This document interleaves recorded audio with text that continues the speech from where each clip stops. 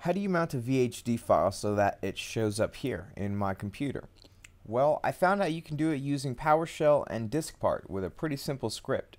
So you'll see we have two variables and we're just passing one variable to DiskPart as a pipeline. And the variable consists of the path to a VHD file, in this case lab.vhd, and it's simply right here in the middle of a script where we're passing two separate diskpart commands. And I found out that diskpart can mount virtual disks. So uh, the first command is select virtual disk and you give it the file, then we're handing it the path and there's a return character and a new line special character here and the second is to attach the virtual disk.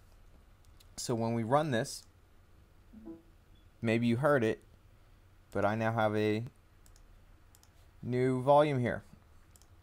So I can add files to my virtual disk now. I can operate with it as if it's a normal disk. And what I needed to do with this was to make it larger. So I can even come into Disk Manager and I'm using Windows 7 Professional. I have the option to extend the volume. I'm just going to add another gigabyte. And that's it. So I can exit out and I have more space on my drive. Well, how do I unmount it? It's simple. Detach.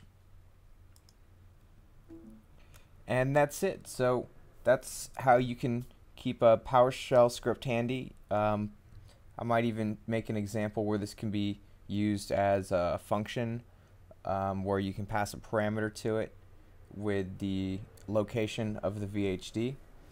Uh, it's pretty simple and it works and it used PowerShell so that's pretty cool.